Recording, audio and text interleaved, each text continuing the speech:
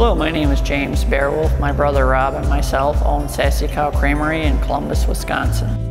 Sassy Cow Creamery comprises of two dairy farms, one organic dairy with 250 cows and one traditional dairy with about 600 cows. Uh, both herds cows milk we supply our creamery with and we uh, send milk to the Madison, Milwaukee, Chicago area.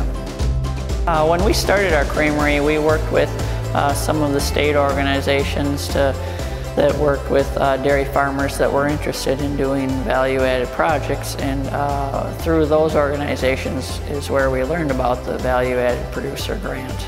We used uh, those funds to grow and expand our ice cream uh, side of the business by adding more accounts as well as adding uh, extra ice cream production abilities.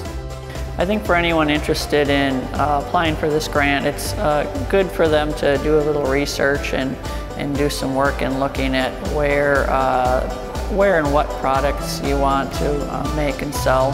Uh, the customer side of the business is very important for anything value added. And so I would encourage anyone who is interested in applying for a value-added producer grant to uh, definitely go ahead and look into it. When you're starting a value-added business, uh, it, it, takes a lot to a lot of um, everything, a lot of energy, a lot of uh, capital, uh, a lot of time, and those businesses are kind of slow to, to develop. So that grant can really help uh, you kind of bridge that gap from when you're starting your project to when, uh, when you can see some positive results.